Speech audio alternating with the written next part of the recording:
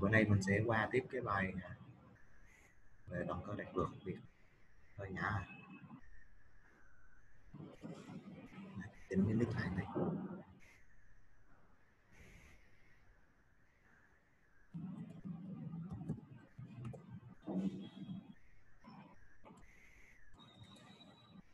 Mấy em nếu mà ở nhà mình à, xung quanh ồn ào thì mình đeo tai phone vô nha. Tại vì thầy nói vừa vừa chứ nói to quá cũng mà lỡ mấy bạn nghe. Điếc lỗ tai nữa. Cái mic là thầy đã chỉnh tương đối là, là cao rồi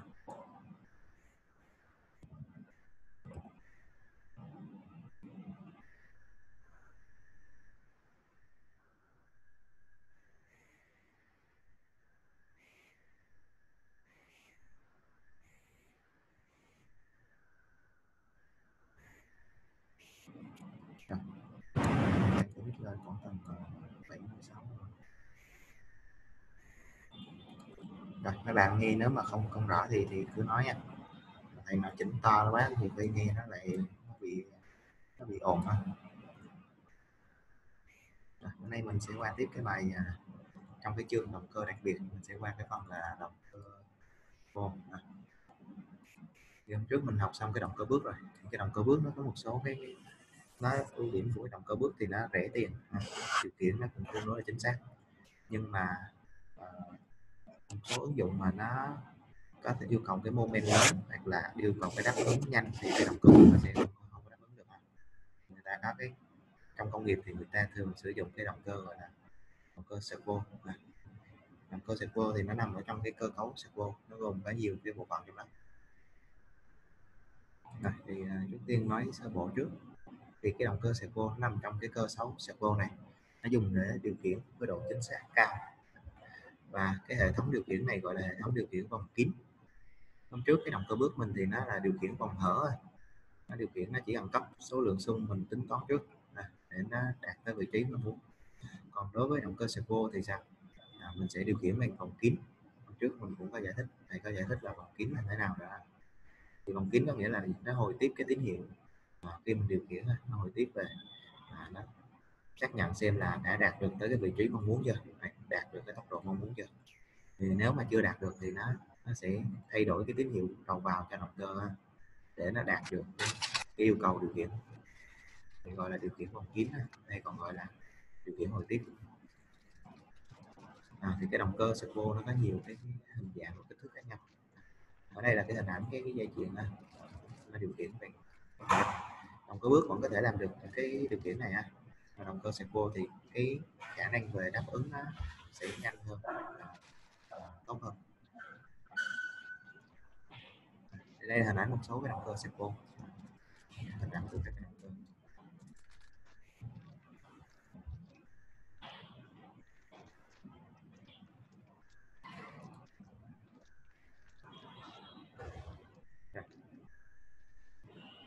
thì cái cơ cấu điều khiển servo nó như sau. À, thì đây là cái vòng điều khiển vòng kín này cơ cấu điều khiển servo này thì lệnh điều khiển nó vào đây.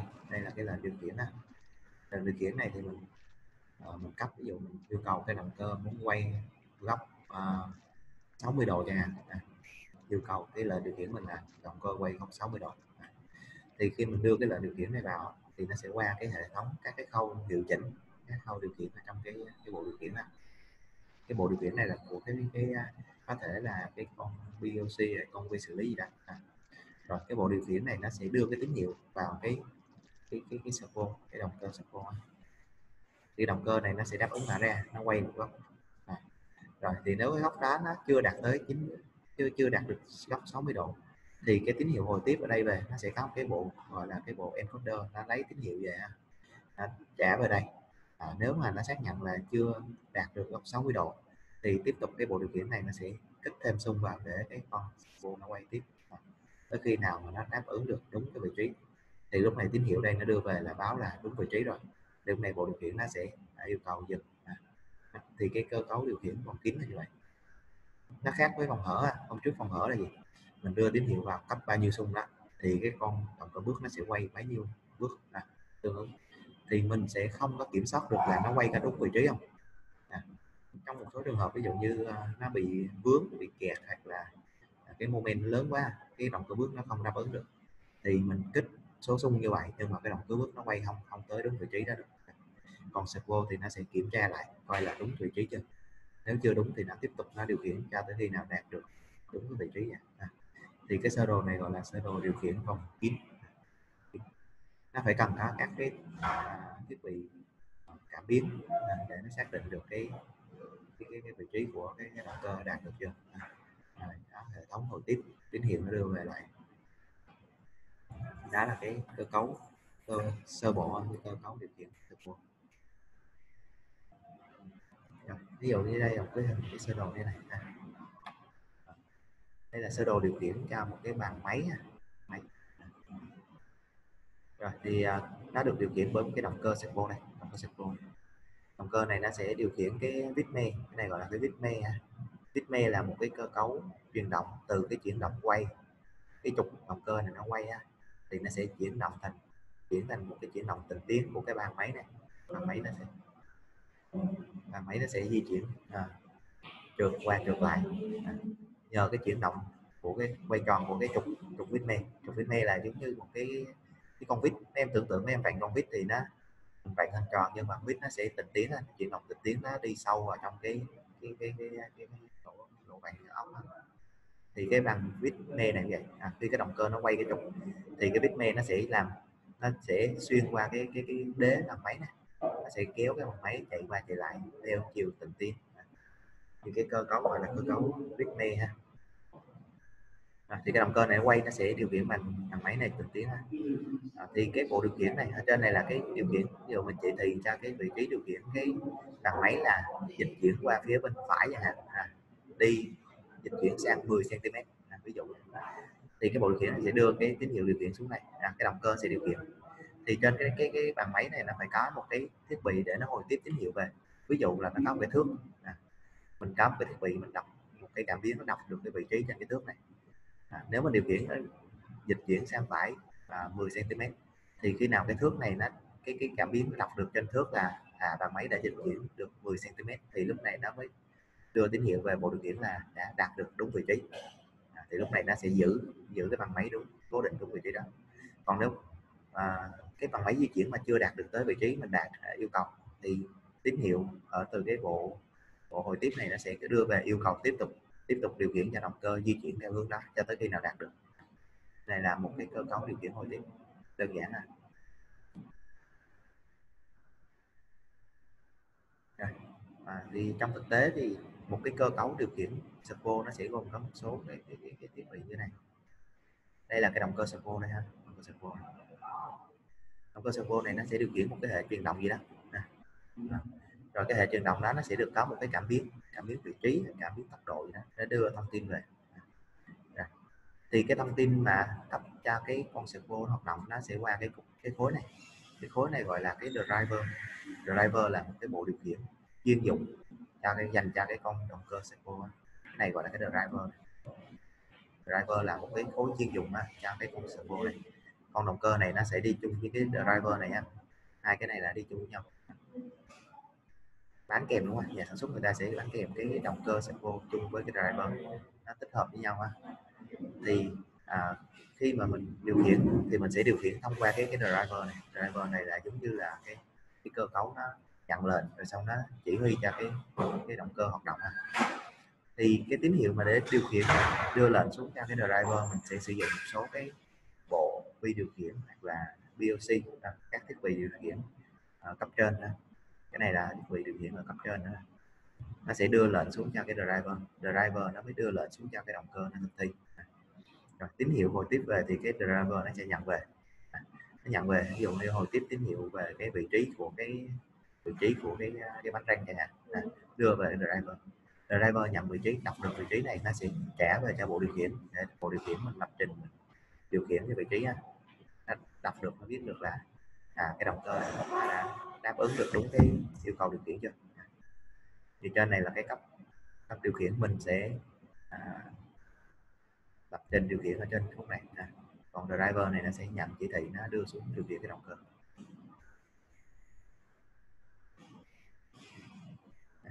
Đây một số cái ghi chú đây là cảm biến vị trí đây là động cơ servo ha. Này là bộ driver điều khiển cho servo. Nhớ là cục này là nó đi chung với cái động cơ luôn này là các cái PLC điều khiển ở cấp trên. Đây là cái hình cái cấu tạo của một cái động cơ servo người ta. Gọi là giống như là mình mở nó ra ha. Này. thì nó có một số cái bộ phận như sau. À, phía trước này là cái cái nắp trước của cái cái động cơ này. À, ổ bi này ổ bi này. Vì để nó đỡ cái trục. Này là cái rotor rotor của động cơ thì cái động cơ servo này nó có thể là động cơ một chiều hoặc động cơ xoay chiều tùy ha. Một chiều hoặc xoay chiều đều được. Rồi starter starter starter thì thường nó sẽ thiết kế cái cái cơ cấu nó sẽ đảm bảo cái khả năng về tản nhiệt này. Và nó cấu tạo để nó sinh ra được cái cái từ trường mạnh để thông minh lớn cho cái động cơ. Rồi, sau này là nó sẽ có cái bộ mã hóa gọi là bộ encoder, gọi là bộ mã hóa vòng xung bộ này nó dùng để đọc tín hiệu điều khiển vị trí này, tốc độ quay của động cơ của này là cái ổ phía sau. Rồi số cái nắp bảo vệ à, bảo vệ và chống nhiễu. Dạ. À, thì một số cái cái cái thông tin về cái động cơ servo thì cái động cơ servo thì nó có thể là động cơ AC hoặc động cơ DC một chiều hoặc xoay chiều vẫn được ha. Servo một chiều. AC hoặc servo xoay chiều DC à, một chiều DC hoặc là xoay chiều AC à, thì cấu tạo nó tương tự như các động cơ bình thường thôi. À, thì về cái động cơ nếu mà một chiều thì nó cũng sẽ có cái à, phần cảm phần ứng tương ứng nhau ha phần cảm có thể là động cơ 500 vĩnh cửu hoặc là động cơ 500 điện cũng được. Kích từ bình thường. À, kích từ à, hoặc là nếu mà động cơ xoay chiều nó có thể là động cơ không đồng bộ ha thì à, nhưng mà đối với các động cơ mà sử dụng trong cái hệ thống servo thì nó sẽ chế tạo đặc biệt hơn một tí chế tạo nó có thể đặc biệt hơn tí.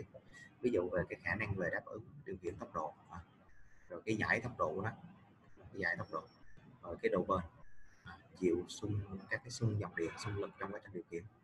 Tại vì khi điều khiển thì có thể nó sẽ phải đáp ứng những cái à, cái, cái sự thay đổi nhanh về tốc độ hoặc là về moment còn thay đổi nhanh thì cái động cơ này nó phải được chế tạo nó độ bền nó cao để nó chịu được các cái xung lực à, các xung trọng điện đó là nói về cái cái, cái, cái cấu tạo của nó. Nó tương tự động cơ bình thường nhưng mà nó chế tạo nó gọi là có thể nói là nó tốt hơn một tí. Rồi, thì nó, cái động cơ thì nó cũng không có gì khác biệt thôi chỉ có hơn một số điểm như vậy thôi. À, tiếp theo mình nói về cái, cái gọi là cái bộ encoder thì trong cái cái cơ cấu servo thì cái encoder là cái phần rất là quan trọng ha quyết định cái độ chính xác của cái, cái, cái hệ thống điều khiển thì nó phải có cái encoder à, thì thầy nói sơ bộ cái encoder là gì? Encoder người ta gọi là cái bộ mã hóa vòng quay bộ mã hóa xung thì nó dùng để đọc cái tín hiệu à, tốc độ hoặc là vị trí của cái, cái động cơ. Thì nó có thể gọi là coi nó là một cái cảm biến à, cảm biến về vị trí hoặc là góc quay của cái động cơ thì tín hiệu khi mà từ cái vị trí nó quay đó, thì nó sẽ chuyển về à, tín hiệu nó về dạng dị phân. Dị phân có nghĩa là à, không một on and off chuyển cái tín hiệu từ cái vị trí tốc độ quay đó nó chuyển về dạng dị phân gọi là encoder là vậy encoder mã hóa từ tín hiệu à, từ cái tốc độ quay lại vị trí nó về cái dạng nhị phân không một thì cấu tạo nó sẽ gồm có một cái đĩa đĩa tròn ha đĩa tròn như hình này cái đĩa này nó sẽ gắn vào trục động cơ và nó quay cùng với cái trục động cơ luôn. Động cơ quay thì cái đĩa này nó quay. Rồi à, trên cái đĩa này nó sẽ có đục các cái lỗ đục các lỗ rồi thì nó sẽ có một cái cặp gọi là cặp led thu phát ha cái con thu một con phát. Hai đồng đứng hai bên đĩa này thì khi nào mà cái đĩa nó quay mà tới cái chỗ vị trí mà có cái lỗ trống thì cái cái cái, cái nguồn sáng á, cái nguồn từ cái con led phát nó sẽ à, xuyên qua cái lỗ này nó đi qua tới con led thu. Thì chế độ ở trạng thái này là nó đang trạng thái một một có nghĩa là on này led nó chiếu xuyên qua. Còn khi nào mà cái phần mà không có cái lỗ nó đi nó chắn nó chắn giữa hai con led á thì lúc này nó là là không. À, tín hiệu nó chỉ có không với một thôi nó mã hóa từ cái cái, cái cái vị trí quay của cái đĩa nó sẽ mã hóa thành tín hiệu là không và một. Tín hiệu điện một một anh à, nhờ cái con led thu với cái này đó đó là cái cơ cấu. Ừ, cơ cấu sơ bộ nó như vậy. À, thì mình sẽ đi vào cái chi tiết cụ thể. Cái loại encoder này à, cái, cái, cái, cái có tại encoder này mấy em có thắc mắc gì không? Nếu có chỗ nào mình thấy khó hiểu hỏi à. Đơn giản nó có cái đĩa tròn thôi trên này đục lỗ. Gắn vô trục động cơ nó quay ha. Khi cái đĩa này quay thì cái con led này cái tia sáng từ cái con led phát qua cái thu nó sẽ bị cái đĩa này nó cản lại khi mà nó đi qua cái vị trí có lỗ thì nó, nó xuyên qua được à, trạng thái nó là một. Khi nó bị cái đĩa cản thì nó là không dạ. mã hóa từ cái, cái tốc độ cái vị trí quay của cái đĩa nó thành trạng thái không một tín hiệu điện trong cái mặt. Thì nó có hai loại encoder cái bên trái này nó gọi là encoder tuyệt đối. Encoder tuyệt đối ha. Em quan sát hình dạng cái cái, cái các cái lỗ trên cái đĩa ha này là gọi encoder tuyệt đối ha. Còn bên phải nó gọi là encoder tương đối. Tương đối ha. Bên trái là tuyệt đối, bên phải là tuyệt đối. Mình thấy là cái cái tuyệt đối là cái lỗ nhìn nó không có giống nhau ha.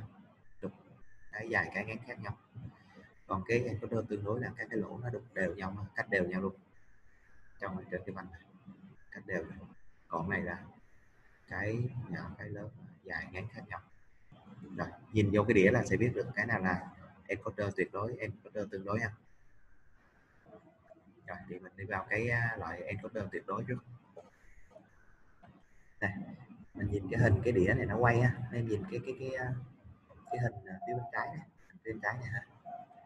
Thì nên tưởng tượng đây nó có ba cái con led. À, nó có đĩa nó có ba cái vòng. Nên nhìn trên này mình thấy cái cái đĩa nó quay mình thấy nó có ba cái vòng khác nhau ha. Ba vòng từ từ ngoài vào trong nó có ba vòng này ha. Mỗi vòng nó sẽ đục các cái cái cái, cái lỗ nó nằm vị trí khác nhau. Rồi thì trên cái cái phần à, cái cặp led thu phát nó cũng có ba con led. Nên nhìn chỗ này nó có ba con led màu chấm màu đỏ này nhìn chỗ có ba cái chấm màu đỏ ở giữa cái, gần cái trục ha. Thì ba cái con led này nó sẽ là đại diện cho ba cái bit. Ba cái bit bit nhị phân à, ba bit nhị phân. Đĩa này nó có ba cái cái vòng lỗ khác nhau và ba con led thì tương tự đây bên bên hình bên phải mình nhìn thấy nó có ba con led này nó chiếu tia sáng xuyên qua cái đĩa này ba cái vòng đĩa và bạn lên led này nhìn vào hình lại bên trái. Thì khi mà cái đĩa nào cái vị trí ba vòng đó qua bàn led thì nó ra ba bit thì khi nào mà cái phần đĩa mà uh, có lỗ trống nó đi qua cái chỗ con led thì cái con led nó sẽ chiếu xuyên qua được cái đĩa. Thì chỗ đó bit nó sẽ là giá trị là số 1 còn tương ứng với vị trí mà cái đĩa nó đi qua mà nó che mất cái con led thì nó ứng với bit số 0 thôi thì cái, cái encoder này nó có ba vòng. À, ba con led để ứng với ba bit nhị phân ha. À, encoder này cái độ phân giải nó ba bit nhị phân. Ba bit. Và nó mã hóa ba bit ha. Mã hóa cái cái vị trí à, đĩa theo ba bit nhị phân này. Không không không không không một không một không.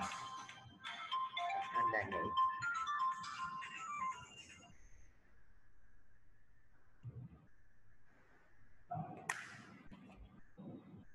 Rồi, thì đây là gọi là cái encoder tuyệt đối ha encoder tuyệt đối. Tuyệt đối nha.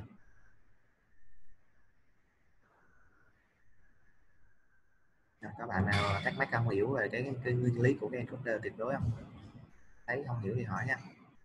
Đó, thì à, hiện tại cái encoder này ví dụ này nó có ba ba cái vòng ha. Mỗi vòng ứng với một bit. Khi nào mà cái vòng mà chỗ trống và nó đi qua con led thì nó ứng với bit số 1 khi nào mà cái vòng mà, à, vị trí mà nó không có cái chỗ trống thì nó qua thì nó ứng với số 0 Rồi. cái loại thứ hai này gọi là cái encoder dạng tương đối này là encoder tương đối ha thì encoder tương đối thì nó sẽ có những cái lỗ trống nó đục đều nhau cách đều nhau đều nhau nó đều nhau như này Rồi. thì cái encoder này trên cái lỗ trên cái vành này à, đục đều nhau vậy. Nhưng mà mình có thể chia nhiều kênh ví dụ ở đây nó có hai kênh A và B. Thì khi cái đường đĩa nó quay qua cái vị trí à, có cái lỗ trống thì nó là một mà. Khi nó quay qua vị trí không có lỗ trống thì nó là hai. À, nó là không à. Thì hai kênh AB này nó sẽ à, khi mỗi lần quay qua thì nó sẽ có một cái xung như thế này. À, và khi nó quay thì nó sẽ đếm. À, khi qua ví dụ qua một lần không một nó sẽ đếm được một lên một một qua một trạng thái không? Một đến lên. À, một.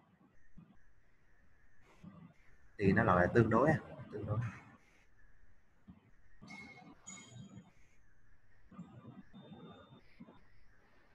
Dạ. Thì à, bây giờ nói về cái độ phân giải. Độ phân giải là gì? Hôm trước mình học cái động cơ bước mình cũng có nói cái độ phân giải rồi dạ.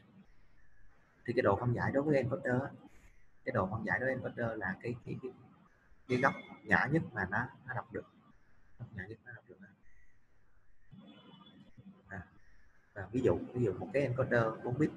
À, 4 bit thì nó tương đương với nó mã hóa được một cái vòng quay nó là 16 vùng khác nhau. Đây. Và ví dụ cái 3 bit trước đây cái này mình học 3 bit này 3 bit thì nó sẽ phân vùng cái đĩa này thành à, 2 mũ 3 có nghĩa là 8 vùng khác nhau 8 vị trí khác nhau ha nó đọc được. Nó phải chia cái một cái vòng tròn thành 8 8 vị trí khác nhau thì cái độ phân giải mà càng lớn cái cái cái encoder mà càng nhiều bit à, thì nó sẽ chia cái cái cái, cái đĩa vòng này ra thành nhiều phần à, nhỏ hơn. À, thì cái độ phân giải nó sẽ cao thì cái độ phân giải của cái encoder nó sẽ phụ thuộc vào cái số bit số bit đầu ra à. encoder mà 4 bit thì độ phân giải là 24 có nghĩa là 16 vùng. Thì một vùng nó sẽ ứng với là 22,5 độ. Nên em lấy 360 độ mà chia cho chia cho 16 vùng ha chia cái, cái, cái đĩa tròn thành 16 vùng thì mỗi vùng là 22,5 độ. Nếu mà encoder mà 8 bit thì nó chia cái đĩa tròn thành 256 vùng. Độ phân giải mỗi vùng bây giờ nó là 1.4 độ.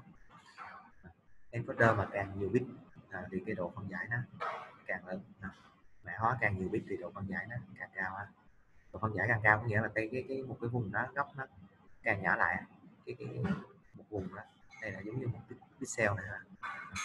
Giống như hôm trước mình nói cái màn hình này.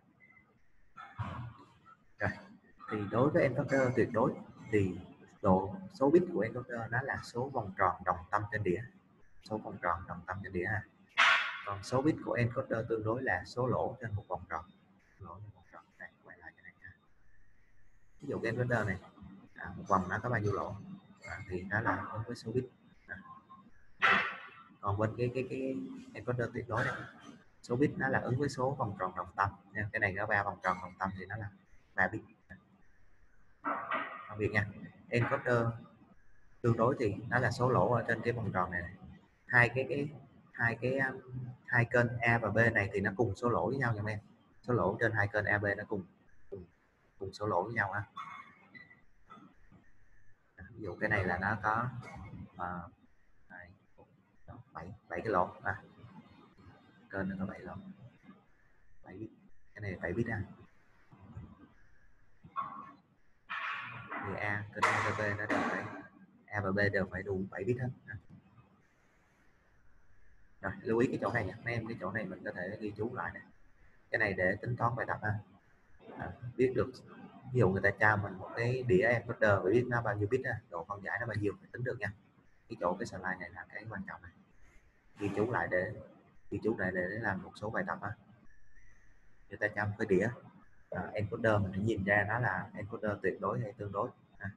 rồi phải nhìn ra được là nó có bao nhiêu bit bao nhiêu bit ha. tính được độ phân giải của nó ha.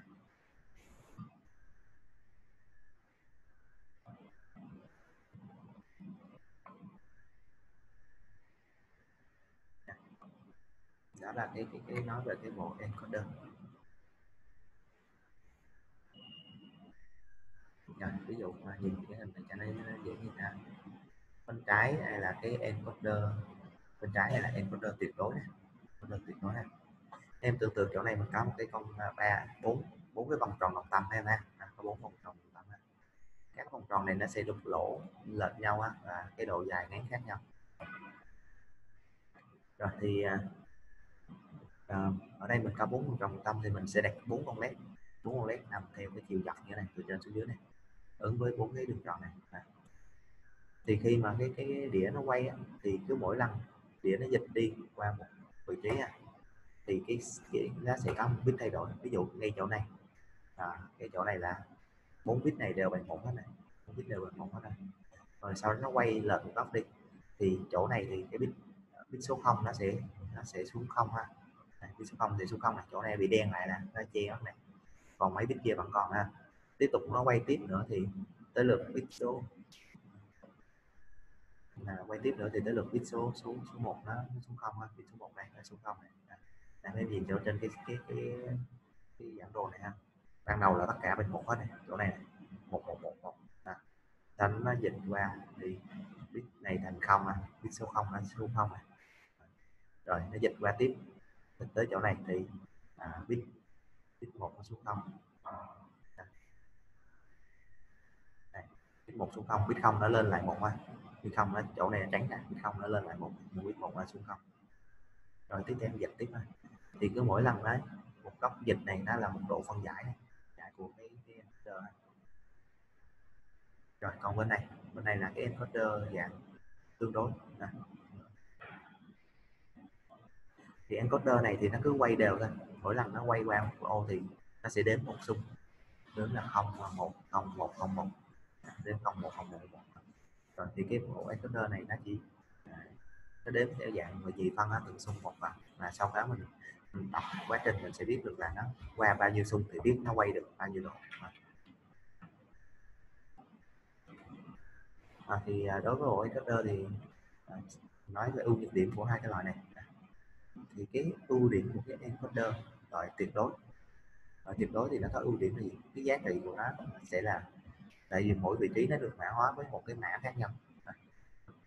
Đối với cái số bit của cái encoder nên là khi mà à, mắc nguồn à, khi mà mắc nguồn vô bộ bộ điều khiển à, mắc nguồn encoder thì cái encoder nó vẫn nằm im chỗ đó thì mình vẫn biết được vị trí cụ thể chính xác của cái cái trục động cơ nhưng mà loại này thì à, giá thành nó sẽ cao á giá thành nó sẽ cao. Tại vì cái cái cái, cái cấu tạo cái đĩa này nó đục lỗ nhiều mỗi bit thì nó sẽ ứng một vòng tròn ha. Muốn độ phân giải càng cao thì phải càng làm nhiều cái vòng tròn. Và em nhìn cái cái bit ở ngoài cùng á nếu mà độ phân giải càng cao thì cái bit ngoài cùng này cái bit không này nó sẽ phải càng các cái lỗ sẽ càng nhỏ nhiều hơn càng nhỏ, nhỏ hơn. À, thì việc chế tạo của nó nó sẽ phức tạp hơn. À, còn cái encoder dạng à, tương đối thì chế tạo sẽ đơn giản hơn. Nhược điểm là giá thành cao chế tạo phức tạp rồi cái loại tương đối ngược lại với cái tương đối thì cái tuyệt đối thì giá thành nó lại rẻ hơn ưu điểm nó rẻ chế tạo đơn giản. Mà xử lý tín hiệu trả về dễ dàng. Nhưng mà nhược điểm thì nó sẽ bị, dễ bị sai lệch về xung đi trả về đồng thời là à, nó có thể tích lũy cái sai số này qua thời gian. Cái tuyệt đối thì mỗi cái vị trí nó có mã hóa một cái bit cố định nó không bao giờ nó sai được mà. Còn cái tương đối mình, nếu mình đọc lệch xung thì nó sẽ bị sai là nó có thể tích lũy cái sai số này. À, thì đây là cái so sánh giữa cái động cơ bước và động cơ servo hôm trước mình học động cơ servo rồi. À, thì đối với cái động cơ bước thì nó là điều khiển vòng kim. Đó, động cơ bước là điều khiển vòng hở. Servo là điều khiển vòng kim. Rồi về mặt điều khiển thì động cơ bước mặt điều khiển nó sẽ đơn giản nè. Điều khiển sẽ đơn giản. Tại vì chỉ cần chế một cái mạch à, kích bao nhiêu xung dồn đến bao nhiêu xung kích vô thì động cơ bước sẽ điều khiển à, với bấy nhiêu bước. Còn cái mạch servo thì nó sẽ phức tạp hơn à. thường thì cái servo này nó sẽ à, có cái driver của nhà sản xuất người ta. Driver người sản xuất người ta làm nó tích hợp chung với cái động cơ luôn mà nếu mình lấy cái động cơ không ra mình à, muốn điều khiển nó thì sẽ rất là khó khó mà chế được cái mạch để nó điều khiển phù hợp cho cái servo đó rồi, về tốc độ. Ừ, tốc độ thì động cơ bước thì cái độ, cái giải tốc độ nó nó nhỏ. Khoảng từ từ một ngàn tới hai ngàn vòng một phút. Động cơ servo thì tốc độ nó sẽ nhanh hơn đó. có thể đạt được ba ngàn tới năm ngàn vòng một phút. Động cơ bước thì nó sẽ có cái hiện tượng gọi là trượt bước. À, bước. Thì nếu mà ví dụ như mình đáp ứng cái tải nó tải nó moment nó lớn á động cơ bước nó kéo không nổi à. Trượt trượt bước hoặc là tần số mình cấp vô cao mà quá cái khả năng đáp ứng của động cơ thì nó trượt bước hơn.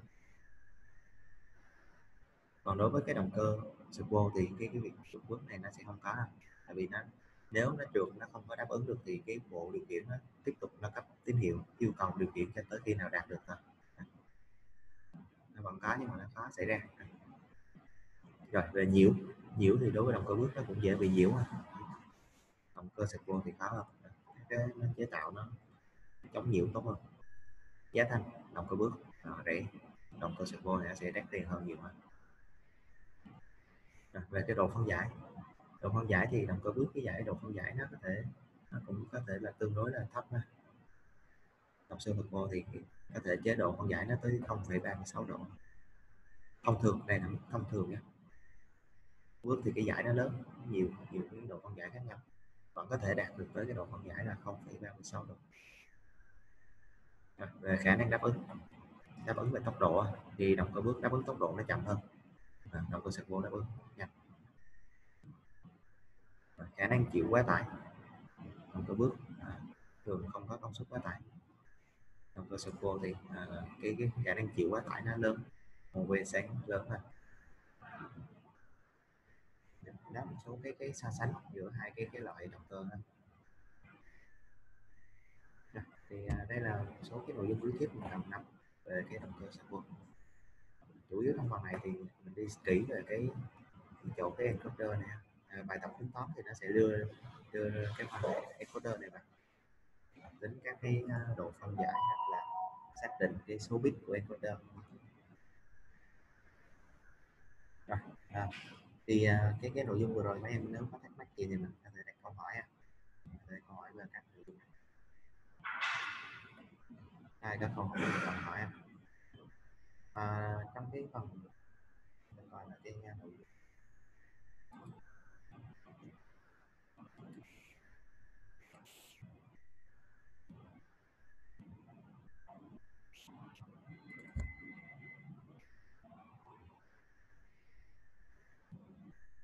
bạn nào có đặt câu hỏi gì thì có thể đặt câu hỏi đó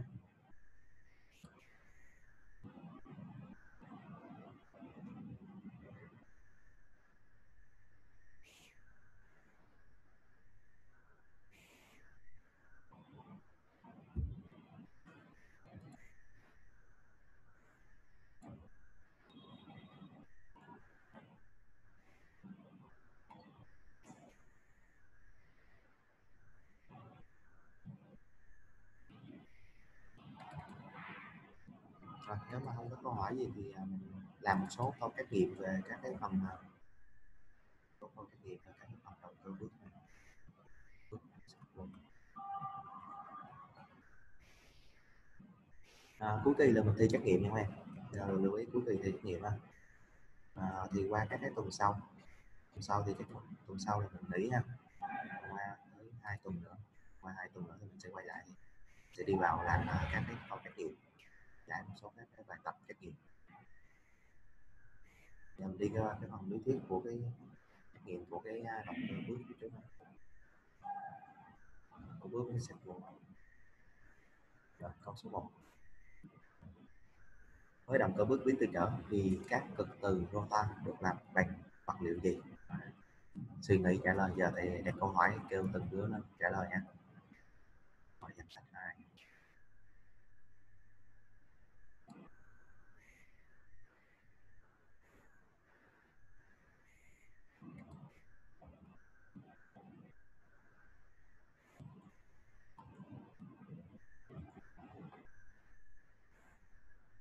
à, kha đi.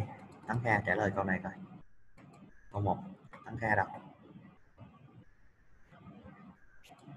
Dạ có nè. Đó gà gáy gì to dữ rồi rồi câu dạ với quê ờ, câu một chọn đáp án nào em? Hôm bữa học cấu tạo rồi động cơ bước biến từ trở thì rotor nó làm cái gì? Dạ. Biết. Rồi. Quốc bình quốc bình biết không? Câu một bình nghĩ không có tên là cái gì an quốc bình đó là an huyện quốc bình này. Phải tên là quốc bình không? Hay tên an. An là an an à nguyễn quốc bình an đúng không? Rồi thầy nhập dạ. Rồi an chọn câu mấy? Câu b sao hay không biết nữa hay à, học gì chứ? Hôm trước mình nói rồi cái cấu tạo động cơ bước biến từ trở thì rotor nó là gì? Động cơ bước biến từ trở thì rotor nó là nó là cái sách loại sách từ. từ sách từ. B nha. Trời ơi, đứa này học Dạ. gì giờ hỏi kêu không biết. Rồi. Tiếp câu câu hai. À, rotor của động cơ bước không có cái gì. Các thành phần sau đây. À, dây quấn cổ gót trở thang các cái trên. Rồi. và nó không có cái phần nào trong này. Minh à, Đỗ Nhật Minh nữa. Nhật Minh biết không? Chọn câu nào Thì Thưa thầy là em chọn uh, cô, cô B thầy. Câu B à? Không có cụ góp à? Câu, câu C câu C. C không có chỗ thang có bước à ra câu này là câu D nha. Câu D. Nó đâu có dây quấn đâu. Động cơ bước. Động cơ bước rota nó nếu là rota uh, rota biến từ trở thì nó là loại sắt rồi. Rota mà dạ. Rota 500 bình cửu thì nó 500 nó đâu có dây quấn đâu đúng không? Nó đâu có chỗ thang đâu. Dạ. à, câu này quá dễ trả lời sai nữa. Rồi cẩn thận nha. Rồi tiếp câu 3 động cơ bước thực chất là một a máy điện tĩnh b máy điện quay c thiết bị điện tử tương tự d động cơ đồng bộ chọn nào.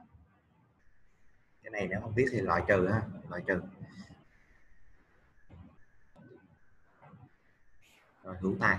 Hữu tài trả lời nữa câu ba chọn đáp án nào? Thầy câu C thầy. câu c. À, mình loại trừ ra ha. Tại vì nó không phải là máy điện tĩnh rồi. Động cơ bước nó quay chắc chắn nó phải máy điện tĩnh à, máy điện quay. Nó máy điện quay thì nó chung chung á. Rồi. Động cơ đồng bộ nó cũng không phải ha. thì nó là thiết bị điện tử tương tự. Thực chất là gì? Cái này là mình cấp xung vào ha. Nó chuyển đổi thành cái vị trí quay của trục quay. Cấp từng cái xung là tín hiệu số nó vô nó thành à, tín hiệu tương tự là cái vị trí quay của cái góc quay của cái động cơ. À, câu C nha. À, câu 4 tốc độ quay của động cơ bước ra trước. Chỉ được xác định bởi à, câu A tải trên trục động cơ. Câu B tần số xung cấp vào câu C cực tính của dòng điện đưa vào stator. Ờ, câu D là cường độ dòng điện cấp vào ờ, Còn này chọn đáp án nào? Ờ, công dưới. ông Sơn Lê Công Sơn. Sơn trả lời cho con. Thấy thử mấy đứa này nó có nắm được. Sơn rồi sơn thấy uh, thành từ đâu đó. Công Sơn Lê Công Sơn đâu? Công Sơn không thấy online mà không thấy trả lời nha. Đã thấy online vô ngồi chơi không? Bật tắt cái âm thanh luôn, sao không ghi nè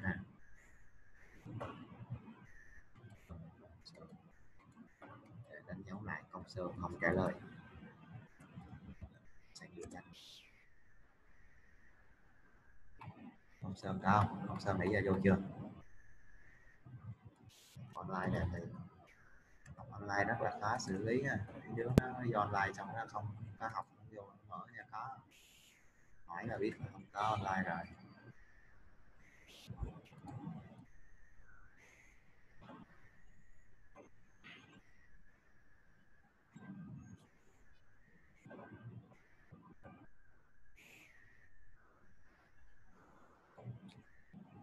Công sơn vô chưa? Nãy giờ còn chưa thấy công sơn đâu hết nha.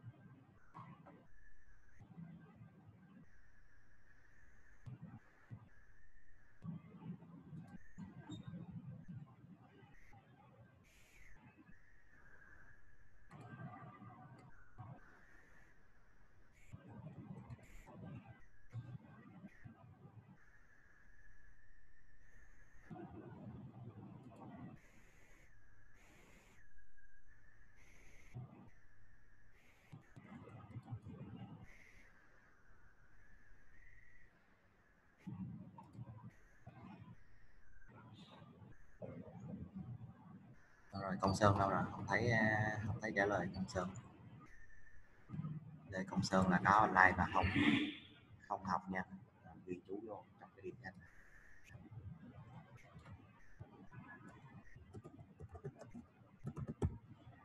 không trả lời à? Không trả lời câu hỏi đi.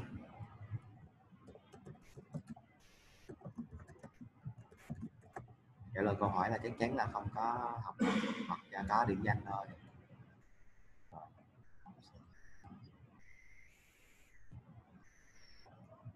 rồi tiếp rồi, câu này là đáp án gì đây? Kêu bạn khác nữa rồi hữu tâm. Nguyễn hữu tâm. Hữu tâm có không? Câu C thầy. Câu C ha. dựa vào cực tính hả? Tốc độ phụ thuộc cực tính hả? Không đúng nha câu C sai rồi. Cái tốc độ nó sẽ phụ thuộc vào cái tần số xung cấp vào chứ. Ok nha số xung. Cực tính thì nó Dạ. chỉ cực tính nó chỉ quyết định khi nào cái động cơ bước rotor cái rotor nó là 500 vĩnh cửu à thì nó sẽ quyết định gì cực tính nó sẽ quyết định cái chiều quay của cái cái, cái thứ tự cực tính thì nó sẽ quyết định cái chiều quay thôi chứ nó không quyết định cái tốc độ quay ha Rồi. tiếp câu số 5 vài câu thôi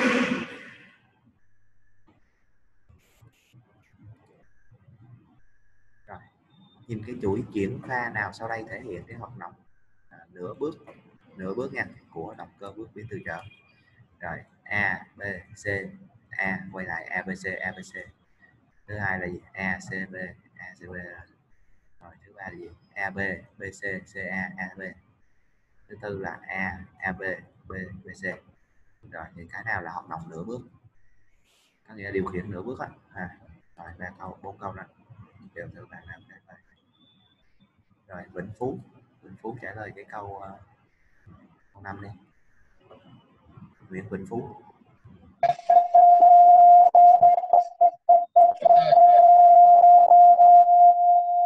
Coi mở cái mic xa xa ra tí. Phú chọn câu gì Phú? Nếu mà mic ồn quá thì chat lên coi thử. Chat lên thử. Dạ câu hai đúng không Phú chọn câu gì? Câu A hả à vậy nha.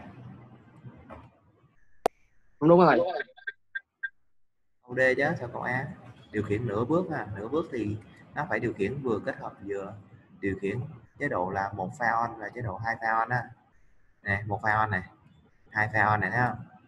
Ờ, một pha on này hai pha on này thì nó phải vừa kết hợp vừa một pha on vừa hai pha on thì nó mới điều khiển nửa bước được chứ. Mấy đứa bữa trước học rồi mà sao không có nắm gì hết vậy? Câu D nha. Đó là học vậy là học online ha học online học không không có để ý gì hết chế độ này phải là chế độ nửa bước này. Nó xen kẽ một pha on với hai pha on thì nó mới điều khiển nửa bước được ha. Thấy cái trên này cái này là một pha on thì chắc chắn là điều khiển đủ bước đủ rồi. Nè, này cũng một pha on bước đủ ha. Nó chỉ chạy ngược lại thôi. Cái này là hai pha on. À, hai pha on thì nó cũng là bước đủ rồi. Chỉ có cái này nè xen kẽ vừa một pha on vừa hai pha on thì nó mới là điều khiển kiểu nửa bước ha. Quý ha chưa hiểu thì bây giờ coi lại mấy cái cái coi lại cái video hôm trước. Đại học mình cái phần điều khiển nửa bước này là hôm trước nói ở phần uh, trên lớp rồi ta nói rồi. Rồi động cơ bước được xem là một thiết bị chuyển đổi. À, này là tô đỏ lộ mất đáp án rồi câu 6 đáp án là D nha. Nó chuyển hiệu từ tín hiệu số sang tín hiệu tương tự á. Có nghĩa là mình cấp xung là tín hiệu số 0101 vô. À, thì nó điều khiển này tín hiệu tương tự là vị trí cái quay của cái trục động cơ rồi câu số 7 câu số 7 có thể coi một bài tập ngắn ha. Góc bước của động cơ 500 vĩnh cửu có 8 cực stator 4 cực rotor góc bước mình bao nhiêu độ? Rồi tính thử ngồi bấm máy tính thử coi. Nhớ công thức không? Stator 8 cực ha rotor 4 cực. Tính thử bao nhiêu bước à, một bước bao nhiêu bộ độ? Góc bước bao nhiêu độ? Bấm thử, bấm máy tính thử rồi thầy kêu thử bạn trả lời coi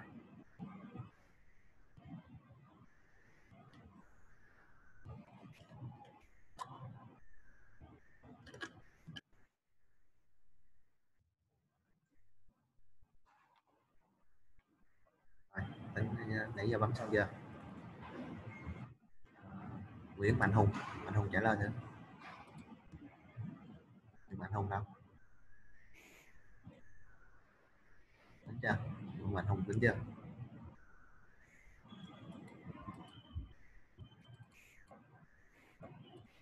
Ờ, Rồi, Nguyễn Hùng cũng không thấy ờ, dấu hiệu trả lời nha.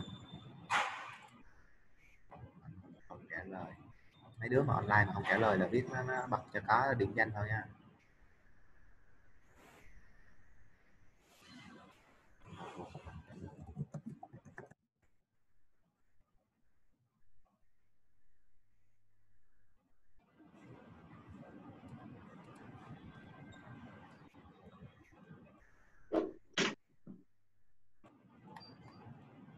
À quốc vinh ha. quốc vinh sao ơi. em? ừ. Em sao quốc vinh Dạ. vinh có hỏi gì ạ? em tính ờ, em trả lời câu hỏi thôi thầy à, rồi mạnh hùng sao mạnh hùng trả lời bao nhiêu thầy không nghe à, góc Dạ, bao alo. nhiêu ờ mạnh hùng mạnh hùng đâu Dạ. ở góc bước của cái động cơ đó bao nhiêu độ em sao nãy giờ đâu im re không nghe trả lời gì hết vậy đây cái động cơ bước ra starter 8 cực rotor 4 cực góc bước bao nhiêu? Trước học công thức rồi. Nhớ không? Không nhớ rồi thôi. Không nhớ rồi nó không nhớ. Đấy, Dạ. lật vở coi lại. Biết không? Tính được không? Nè đi thi gặp mấy câu này à, không làm được là uổng mất điểm nha. Câu này là rất đơn giản à. rồi nhớ. Rồi không nhớ thôi nha không thì có nhưng mà không trả lời được ha.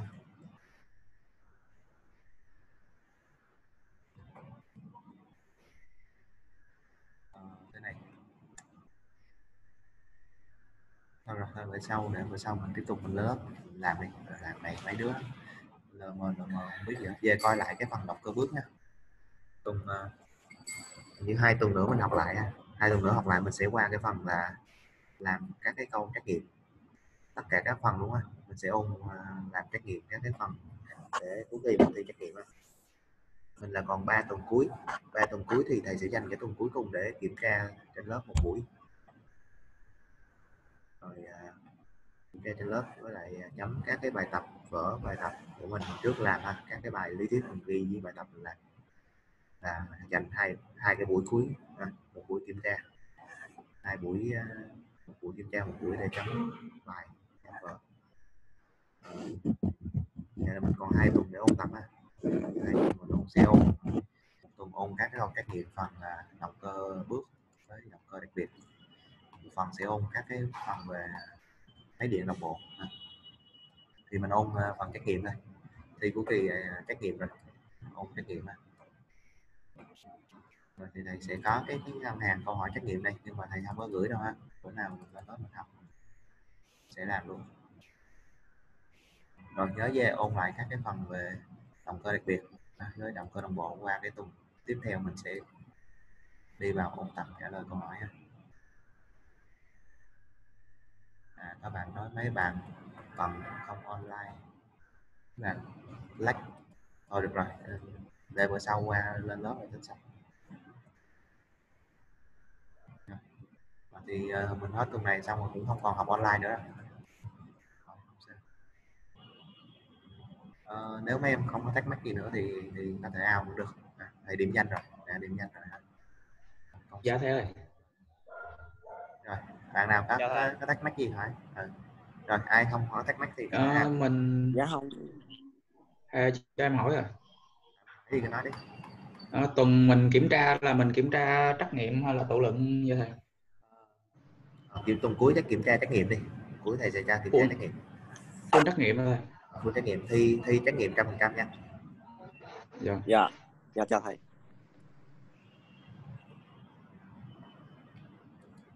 Dạ, chào thầy.